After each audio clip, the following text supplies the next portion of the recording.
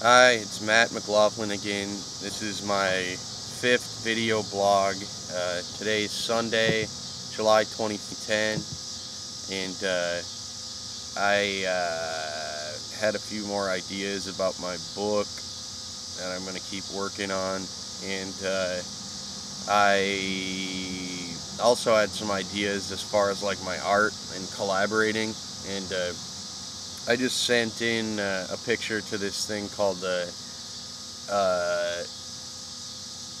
like event of a lifetime, I think it was called by uh, these guys I know in Chicago, Matt Austin and Zach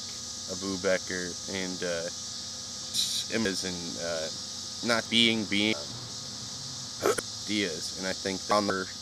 who did that that thing in because uh, yeah, see.